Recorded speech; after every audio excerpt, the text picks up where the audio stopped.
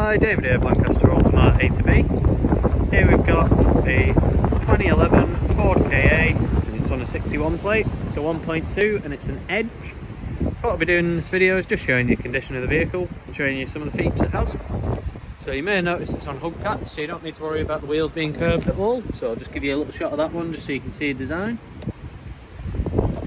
And down the side of the vehicle, you can see the bodywork is in very good condition there. Bring you view from this side so you can see wing mirror caps in good condition as well. Got your front hubcap there. Then onto the front bumper. Again, very good condition. It's only on around 20,000 miles this, so for the age it is very, very low mileage, hence the good condition. So the only area there's any wear and tear is just this hubcap. But again, they're very cheap, very easy to replace if that's something you wanted to do. Then down the side of the vehicle again, you've got absolutely no wear and tear down this side at all. Again, wing mirror cap as well, absolutely fine there. And then again, same angle from the rear.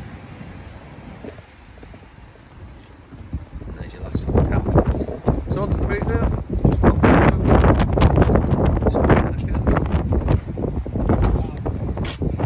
See, quite a bit of space there. You've got tyre inflation kit underneath and there's fluid just there. Now I'll just pop the seats down so they don't go completely flat in this but they definitely do increase the boot capacity. So a lot better if you take the parcel shelf out. Got plenty of space in there for a very small car. And you get a little strap there just to pull the boot shut. Nice and easy. So then I'm just hopping into the vehicle maybe wondering there's not much going on in the door but it's actually been carefully packaged away elsewhere. So you've got your uh, wing mirror controls there so you can adjust that. And then both your window switches just over here. So what I'll do is I'll just pop the key in just start the engine so you can see the mileage and see that it does start with no problems nice and easily.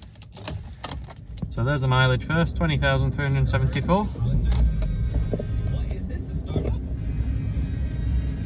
So just to let you know, those lights aren't flashing there, it just may look like it is. So one second, I'll just turn that radio back off, there we go. So as you can see anyway, the mileage is very low, especially for a 2011 vehicle on a 61 plate. But it does start smoothly, no issues there, it's sitting just under 1000 RPM as you'd expect. And the only light on there is the handbrake and the uh, seatbelt, because I'm not going anywhere right now. So onto the features it has.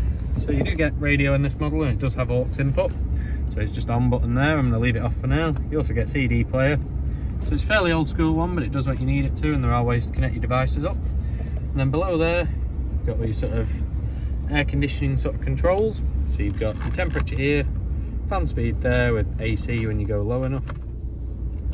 Sorry, when the temperature's low enough. You've then got either whether it's circulating or recirculating, then you've got your direction there so at the minute we're just keeping the windscreen clear because as you can tell it's a little bit damp outside. So just below that you then come onto the 5-speed gearbox and you just lift the middle bit up there just to go into reverse. As I mentioned before you've got your electronic window switches just there. Then coming down a little bit further you've got a cigarette lighter slash 12 volt power outlet, tiny little storage tray under there and then you've got your 3.5mm jack. We've also got an ashtray there that is removable to reveal a cup holder and then you've got a manual handbrake with another little storage area at the back. So only other thing to cover is glove box.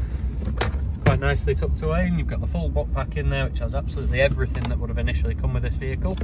If you want to see the images of that they'll be available on usually the last photo I upload of any, uh, of any vehicle.